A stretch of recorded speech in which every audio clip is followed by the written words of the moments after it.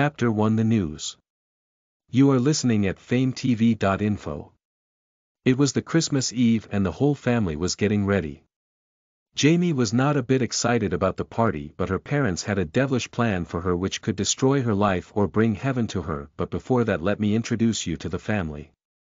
Jamie Jefferson was the adopted daughter of Carrie and Dante Jefferson.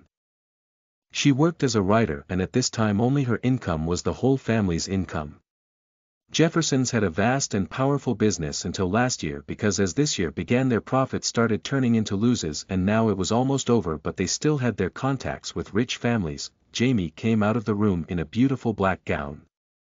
She didn't like to wear makeup but at occasions like these she used to put an eyeliner and a light touch of lip gloss which was enough to enhance her already beautiful face. She was 22 and a really elegant lady, she was a pleasure to look at with the finest physical features, a perfect body shape, thin legs and a perfect height.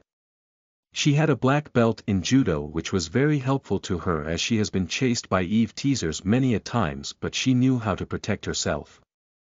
She had always been loved by the Jeffersons and she was always treated as their real daughter until now. Jamie entered her parents' room when they suddenly stopped talking. I am ready do you need any help or should I wait downstairs, she asked in a very sweet and gentle voice. Carrie looked up coming to her senses which she lost as Jamie entered with a fear that she must have heard something, no you must wait downstairs we will be there in five minutes and then we'll leave, she replied softly. Jamie nodded and went down she had been to parties before but today she had a feeling that something bad might happen her stomach felt some strange sensations but she ignored them and switched on the TV as she knew their five minutes meant half an hour.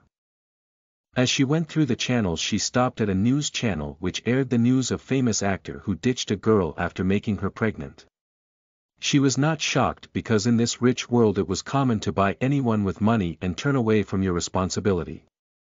He was a playboy and it was natural for him to turn away so this made the top news of the time and she knew they would definitely find a way out of it. Listen to the full novel at fametv.info, direct link in the description.